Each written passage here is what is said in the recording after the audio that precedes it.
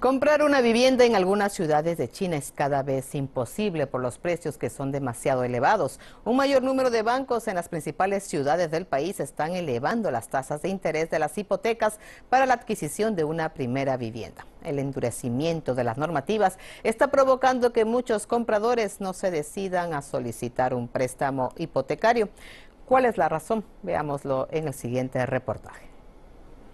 En Guangzhou, los cinco principales bancos chinos de propiedad estatal mantienen sin cambios las tasas de interés hipotecario para la compra de una primera vivienda. Sin embargo, algunos bancos comerciales han incrementado en un 10% los tipos de sus hipotecas desde junio. Las tasas pueden incluso elevarse hasta un 20% si los compradores desean obtener el préstamo rápidamente. Los analistas atribuyen la subida de las tasas hipotecarias a la falta de capital. Los préstamos hipotecarios siempre han sido los préstamos preferenciales para los bancos. No obstante, las tasas de interés hipotecario se incrementarán si hay una falta de capital en el mercado. Los analistas subrayan también que las tasas hipotecarias seguirán subiendo durante la próxima mitad del año.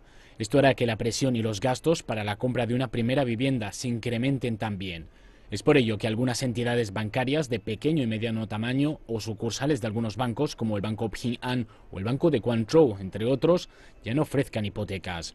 Por suerte para el comprador, los grandes bancos no se han visto afectados.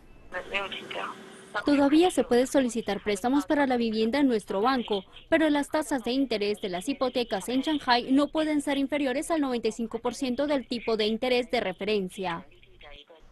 Los expertos sostienen que las políticas para la compra de viviendas deberían regular también las tasas de interés hipotecario. CGTN, en español.